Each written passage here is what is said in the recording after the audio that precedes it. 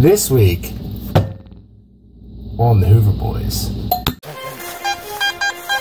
You're be something stupid.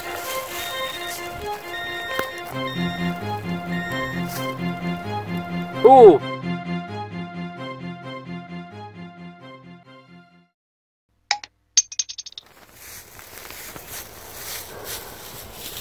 Always nice to start a video with an Indian head cent.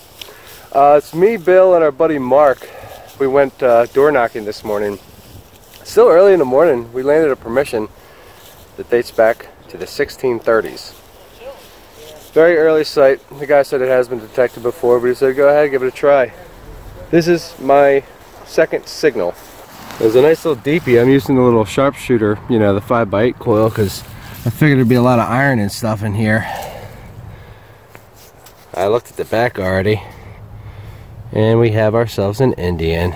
It's a good way to start the day. Look at this soil. It's like dirty sand. We're right on the uh, right on the water. Let me toothpick it so I can get a date. We'll come back. Hopefully she cleans up. Cleaned up a little bit. Enough to get a date. It is a 1900 1900 Indian head cent. That's a good way to start the day. It's early. Hopefully there's some more goodies here for us to find. I was just telling my buddy Trooper Brian the other day, I was like, anytime an Indian comes out of the ground, I'm a happy man.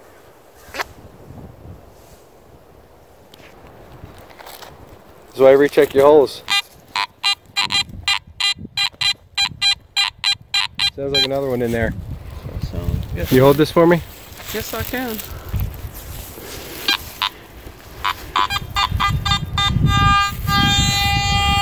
A little bit over that way. I might pop it up. Be another Indian friend. It'd be a little silver. Where is it?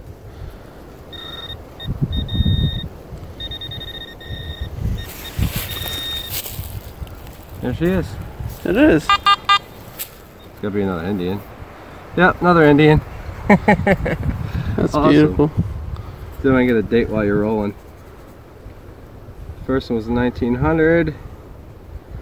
And this one is 1897, I believe. I need to clean it up, but Indian spell. I'll check the hole again and keep on going. I've got a really nice coin signal. I'm gonna call a matron head large set. You can't beat that signal. 82, 83. Here's the spots. Probably right on the surface. Four inches deep right there. You're allowed to be like a two reals or something, but they'll kill me. Let's go with the probe. That's deeper than I thought. Probably a D buckle.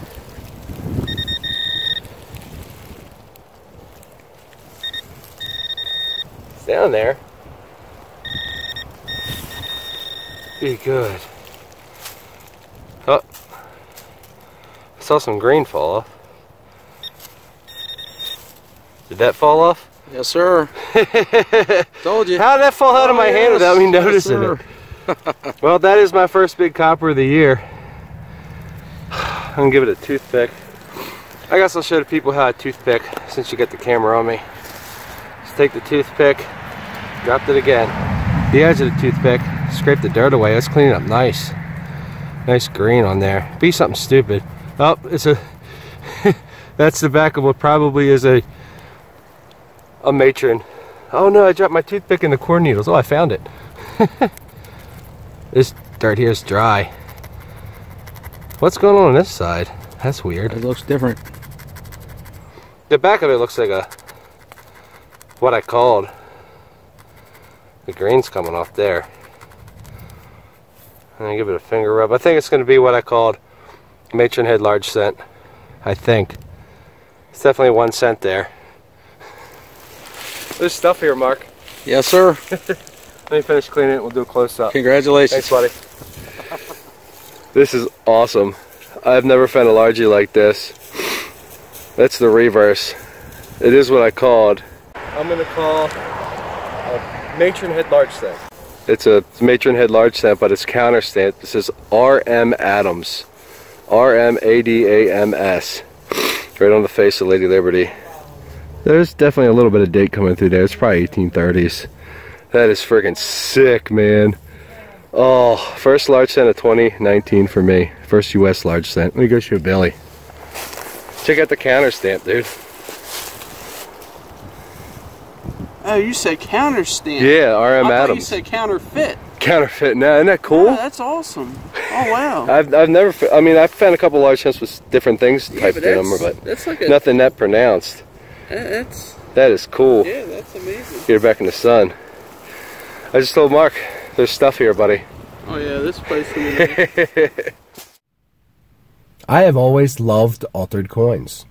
Something about an altered coin just fascinates me. You have a coin and a personal item, two of my favorite things to find, all in one. Now, today I want to talk about counter stamps on coins. Back in the 19th century, especially between the 1820s and the 1880s, it was a very common practice to counter stamp coins for a number of different reasons. Different stores would stamp their names on coins. Businessmen would do so to advertise their business. Other times, political slogans were stamped on coins. And there was many personal pocket pieces known, where somebody would stamp their name on a coin, carry it around in their pocket, or even wear it around their neck. And I think that's what this one is. I think this one's a personal pocket piece. Now, I've found plenty of coins that have been altered over the years. I've even found a love token, but I've never found a counter stamped coin. The crazy thing is, exactly a week after I found this coin, I was detecting with my friend Chuck. Didn't take any video, but I found another counter stamped large cent.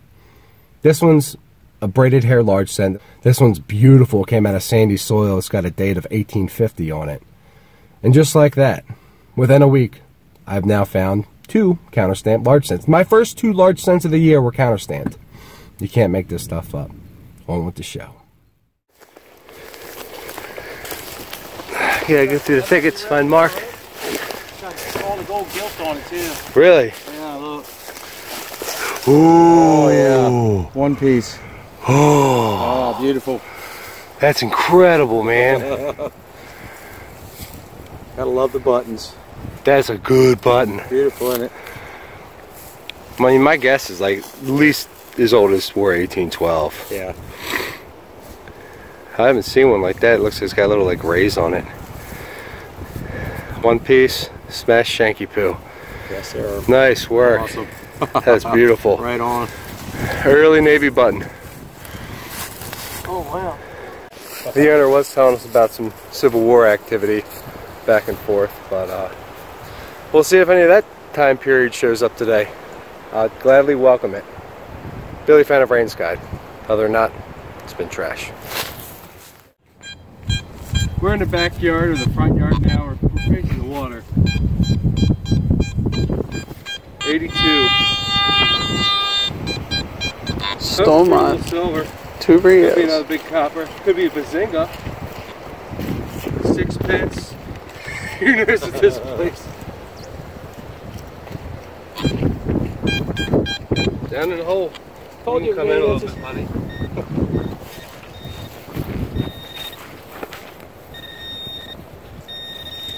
Down. Oh, it's a silver quarter on edge. Look at that. Really, look at that. That's why the Equinox wasn't hitting it that far off the ground. Grass. It was completely straight up and down. yeah. And I, this little coil, I'm it up here, the Equinox could only hit it like two inches, three inches off the ground. Right. That's crazy. Yeah. So it is what they say. That thing has problems with silver on edge. Yeah. It's a 1952 silver Washington quarter. Not 1500 silver, but we'll take it. That's Got a in the cool. It's a D. I got the D. Got the D. Got the little D. Cool. Got some silver. There's stuff here, guys. There's more. There's that one. You can come down here a little bit. Try to get like a pop or something. There's something else over this way. Be a half dollar. Probably gonna be a merc. It's probably the coin I was hitting on. 82 signal. I may not even been here in the quarter. Oh, it's another freaking quarter, dude. Be a standing liberty. Silver Washington spill. I'm gonna rub it. It's a 57. Oh, Wow, there's more. oh my gosh. Big silver spill. Oh, I got it in my hand. Watch it be a wheat. Yeah. Probably a weedy. There's more in here, Billy. I just moved it. Where's the silver? That's a weedy. Give it a year to spills. Nice. Well, that's cool. Uh, I'll scan it with the big beep stick, but cool little coin spill there for you. AT Max finds coin spill at 1630's property. Clickbait. Oh god. Sweet. Yeah. Still rolling? Yeah. Want me to Good, turn dig, dig- good digging, buddy. My coin spill came from there. I got a uh, war nickel and a weedy out over there. Another little coin spill. Bill came came bradding me all up real close. He's got a nice nice sounding signal here. This is gonna be something older. I feel like It's a little bit sounds deeper. deeper. You got it. He's got it. In this? Is it in Oh, here? It's around here somewhere. Around here? You got the pinpoint. Right there. there it it's is. freaking weedy, I think. Oh, I got That's weeded. what you get bottom feeding wheats. I got a weed. I got. Second.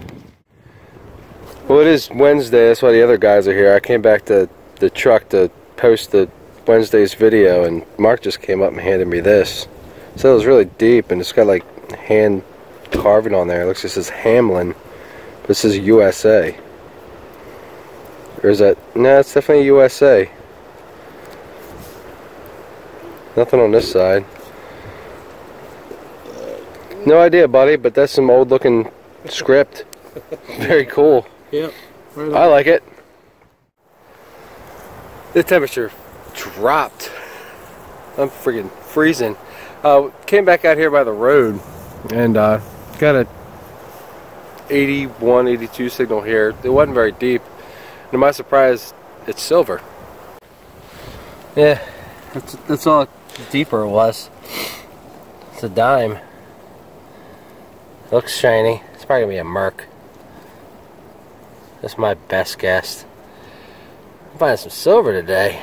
Trying to pop it. Let's give it a little spray. The juice is loose. Oh, one dime. It's older than I thought it was. Be seated. Any mint marks? Don't see a mint. Seated or barber? What's it gonna be? What's it gonna be? What's it gonna be? What's it gonna? It's a barber. Awesome. Barber dime. The back cleaned up nice. I gotta finish cleaning up the front. We'll come back with a date. Barbie. Awesome. Great. Yeah. The soil up front here is kind of weird. It had some weird gray film all over it. The obverse is worse than the reverse. It's uh, 1906. I actually had to loop at it to figure out what that last digit was. 1906 Barber dime. One dime. I love the reverse of these coins. And I love the one dime game. And as always, I'm going to rescan this little area because there's been coin spills in this yard for some reason. Hi, Lady Liberty. Where are your friends at?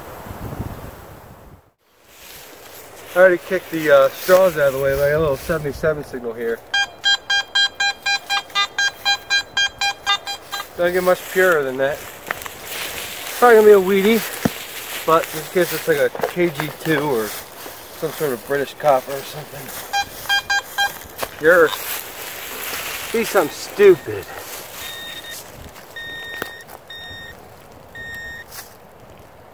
Ooh, big dandy button maybe. Nice. Be a GW. I want to be a. I want to play a GW game. There's my hot hands. Come on, baby. This is dry up in here. Oh, what do I do? Do I spray it? Do I toothpick it? Let's toothpick it. I want to be a GW. I want to be in that, that club.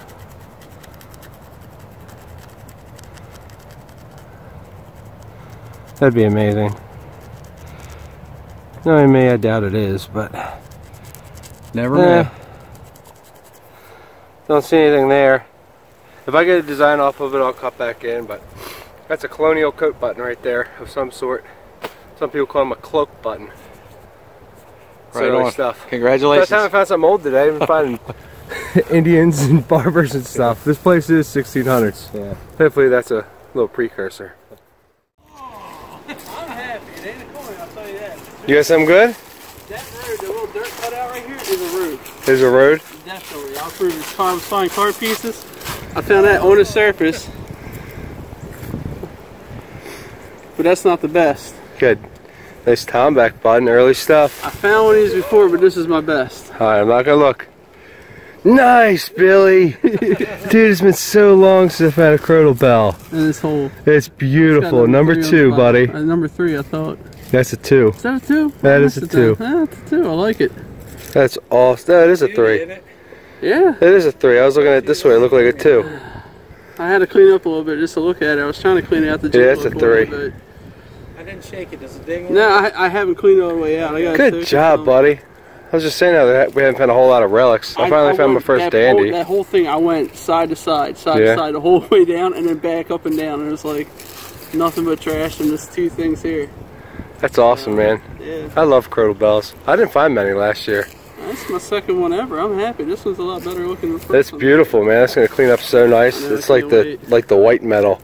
Yeah, almost that's like the said. It looks Tombac like, material. Yeah, like the Tombac material. That's what I thought. Yeah, it's called white metal. It's awesome. I'm gonna have Congrats, buddy. I love it. soak Well- it a little bit. We'll dingle dangle it later. Yeah. There's a little stream over here you could soak it in. Yeah, I was gonna. If you want your hands to be frozen. We're right in the backyard right now. The owner came out and told us that 15 years ago somebody lost the gold diamond ring. We told him to give it back to him if we found it. It's not a ring, but it had me going. It's a button. What is going on there? It's a big gold two-piece button. Hmm. Flower. That's a good looking button. Can't say I know that design. It's probably just civilian. That's a good looking relic. Haven't found too many relics here. Oh, Big sweet. gold gutted button. That's awesome. It is awesome. A relic. Alright, it's getting dark. Mark's got something. One more for the road. Jefferson. Just a Jefferson. The Jefferson. Where'd that light go, Bill? The Jeffersonian nickel? It looks like.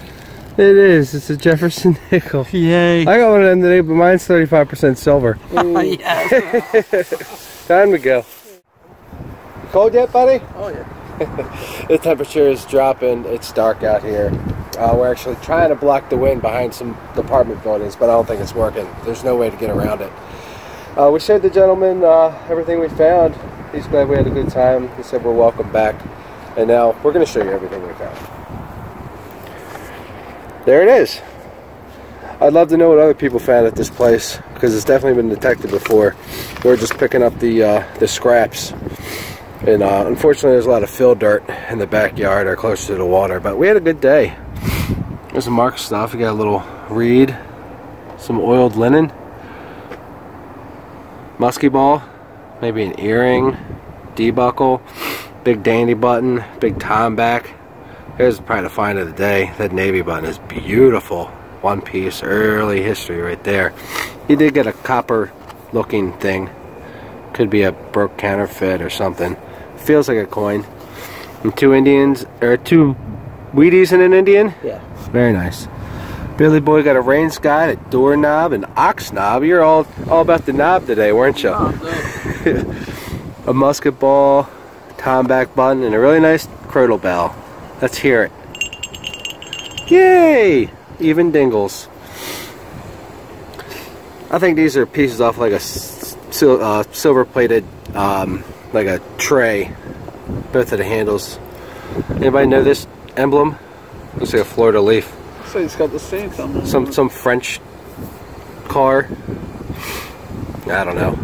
Door handle, knob. Here's a light switch. You got one of these, buddy? lipstick container. Lipstick. Some weird little badgy thing. Look at the shank Looks like on that. a uh, what do you call it? A drawer pull. Like drawer pull? ones where it's got Oh, yeah. It probably was Yeah. a drawer pull. They got the D. Here's my big dandy button, some clad and weights. I just ended up with four silvers. The silver spill and the uh, the barber dime. Two Indians. There's that flower button. And here's my favorite find of the day. The counter stamp large cent. The matron. RM Adams. That's a cool coin. I like it.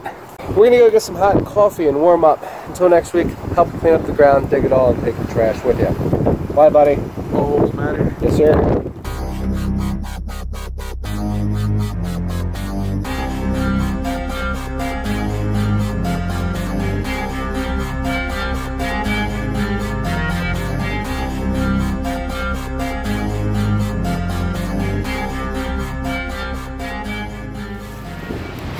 What you looking at, buddy? that. They're swaying, aren't they? It's windy. Uh, you couldn't tell by all the wind noise. Oh boy! it's waving to us. Yeah. Telling us goodbye. It's creepy out here in the woods sometimes. I always feel like you're being watched. You ever feel like you're being watched? Like hearing voices and stuff?